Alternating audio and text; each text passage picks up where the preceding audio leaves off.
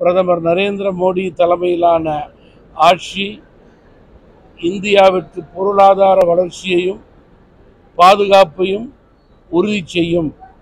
நல்லரசாக செயல்பட்டு கொண்டிருக்கிற மத்திய அரசு மூன்றாவது முறை இந்தியாவை வல்லரசாக மாற்றும்.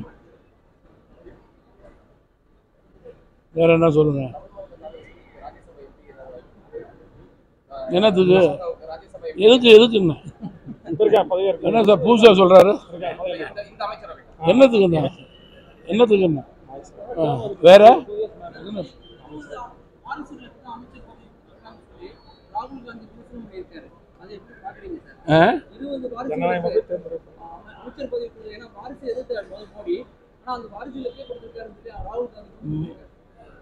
ஜனநாயக முறைப்படி மக்களால் தேர்ந்தெடுக்கப்பட்டவர்களுக்கு இந்தியாவை பல்வேறு துறைகளிலே சரியான முறையிலே வழிநடத்தக்கூடிய நேர்மையானவர்களை திறமையானவர்களை பிரதமர் தேர்ந்தெடுக்க இருக்கிறார்.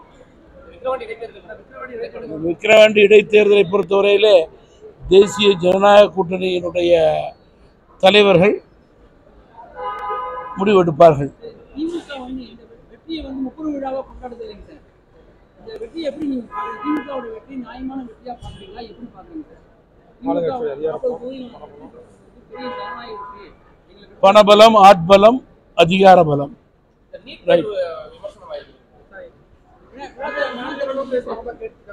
இந்த நீட் தேர்வை பொறுத்தவரையில தமிழகத்தினுடைய ஏழை எளிய நடுத்தர மாணவர்கள் சில வருடங்களாக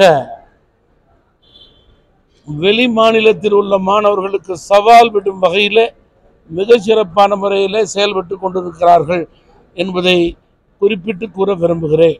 தயவு கூர்ந்து கல்வியை அரசியலாக்க வேண்டாம் மாணவர்களையும் பெற்றோர்களையும் குழப்ப வேண்டாம் என்று அரசிடம் கேட்டுக்கொள்ள விரும்புகிறேன்.